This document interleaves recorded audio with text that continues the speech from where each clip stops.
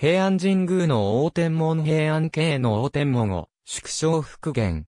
大天文の変は、平安時代前期の上岸8年に起こった政治事件。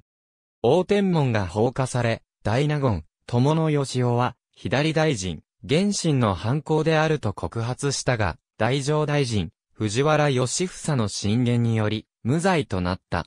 その後、密告があり伴え前南府市に嫌疑がかけられ、有罪となり、流刑に処された。これにより、古代からの名族友野氏は没落した。藤原氏による多氏排斥事件の一つとされている。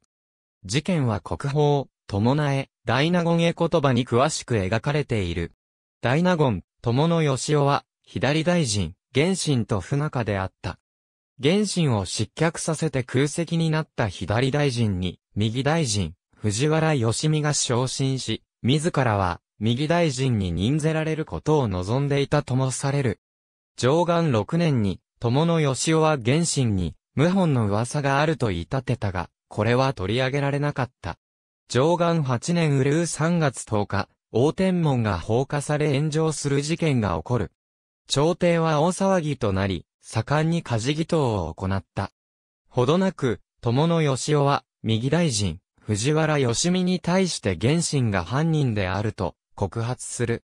大天文は大友氏が造営したもので、原神が友野氏を呪って火をつけたものだとされた。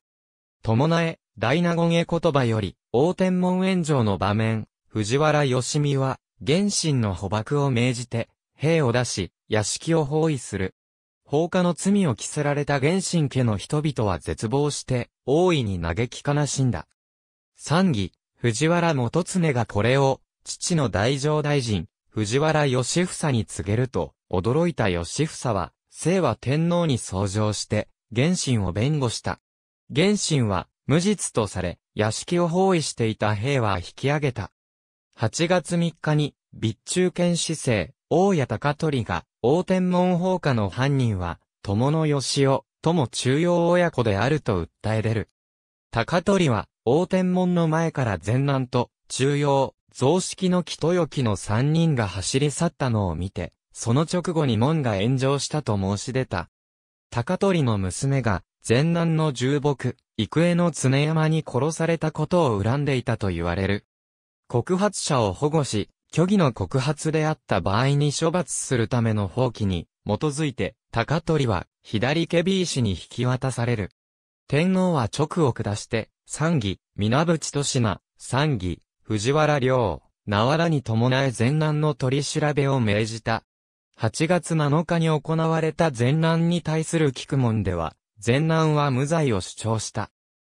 また、陰陽寮が、大天文の火災は、三両が怪我されたことにあると、カンサルを行い、14日になって、実際に三両を点検したところ三さぎに人が、立ち入って、木々が伐採された跡が見つかったため、18日には、大天文の火災は三両を怪我されたことに対する、検石と判断されて、領主の処分の方針が決定された。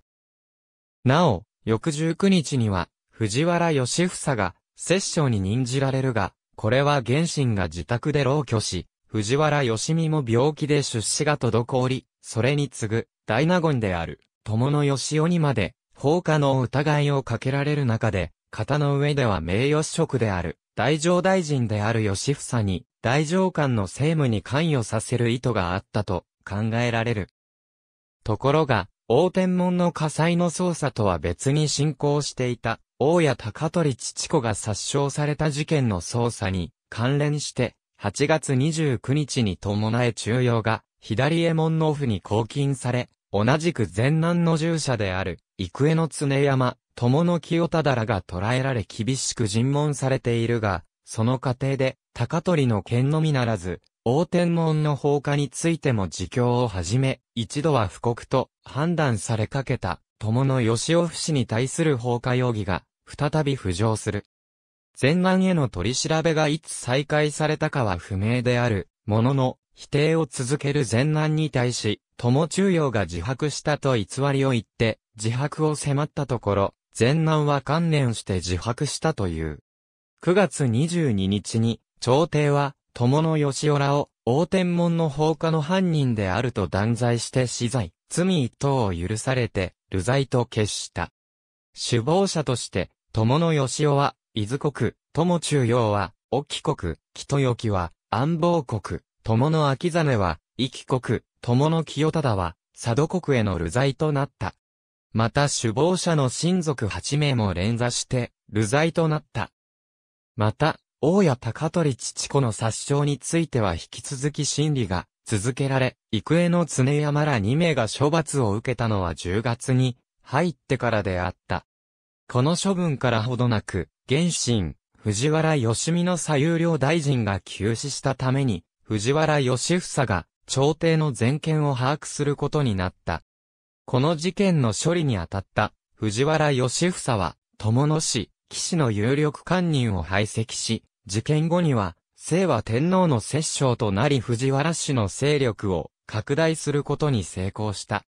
藤原氏の勢力削減を図った友野義雄であったが、結果として友野氏らが一掃され、藤原氏の県政が増すこととなった。